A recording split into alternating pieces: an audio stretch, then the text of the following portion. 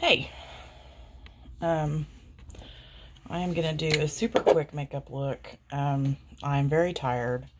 Horse show yesterday, long day outside. Um, but I need to go to Walmart and buy groceries. I've already moisturized. Um, just putting on some primer. Um, I was obviously out in the sun a lot. I did wear a hat, so to protect my face. Um,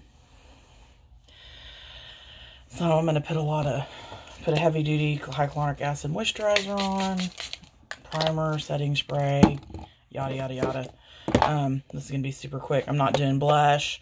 I'm only doing one or two mascaras. It's going to be real super quick.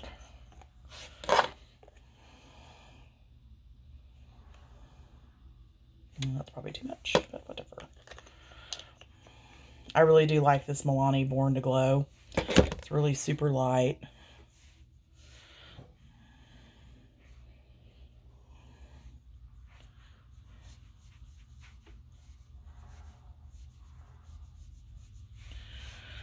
And as you can see, it really blends with my natural skin.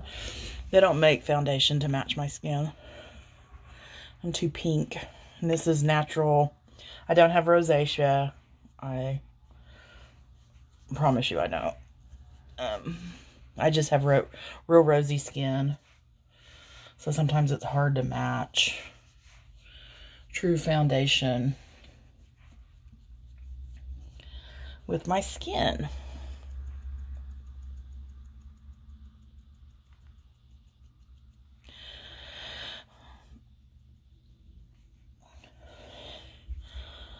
So,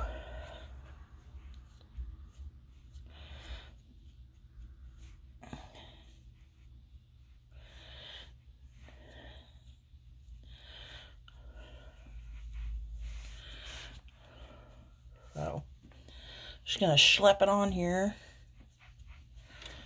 I am going to powder down.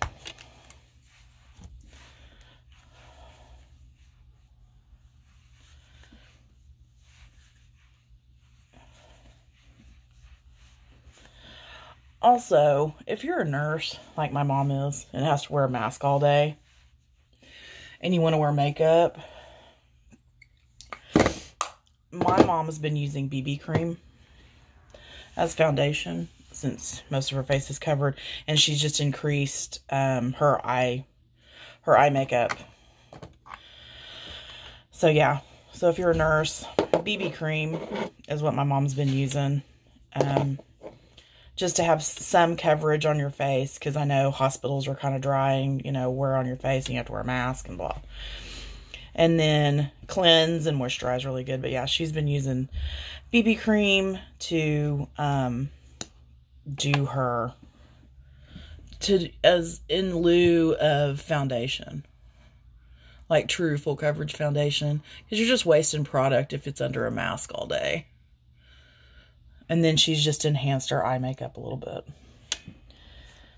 So.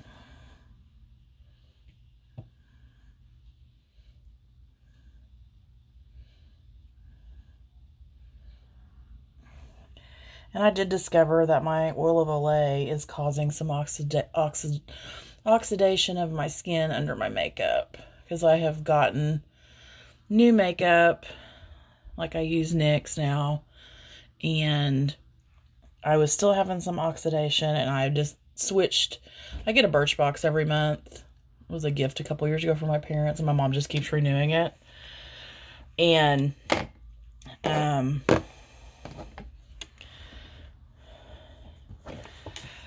and I got some more high-end like moisturizer samples that I've been tr trying different ones and I've just discovered that my moisturizer has been causing my makeup to oxidize on my face. And also concealer.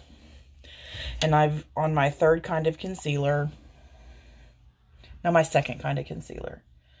And it was doing the same thing. So I have ruled that concealer out. And I did consult a professional makeup artist. Um, Cody J. He's the one that get, sent me my Revolution stuff. Revolution Cosmetics Simpsons Halloween edition stuff. So, Um, so yeah, so we've I've discovered that. So I'm gonna get some NYX concealer because I don't really wear concealer very often. Mainly if I wear eyeshadow, and I don't wear a lot of eyeshadow. I need to throw away all my eyeshadow palettes. I've discovered they're all out of date. Some of them have been out of date a minute, a hot minute. I didn't know. I knew makeup expired, but I didn't know what level. So anyway, didn't grab enough Q-tips. So yeah, this is a real quick, super under 10 minute makeup look. My eyes are going to be watery today because I was outside so much yesterday. And this wind, Oklahoma wind, just tears it up. Put my hair in this bun this morning and I said, yep, I'm rolling with this bun all day long. I ain't going to try and fight it. So when you get your hair, if you're just going to wear a messy bun and you get it on the first try, don't fuck with it. Leave it alone. Oh my gosh. Freaking mascara all over my fucking face with that mess. Oh, my mascara is just not going to be good today. It's going to be messy. And like I always say, makeup's messy. Wet and Wild has good makeup. It's cheap. It's pretty decent. I've always been a Wet and Wild lip gloss fan. So anyway, so that's my really quick look to go to Walmart today. And I'll wear this all day.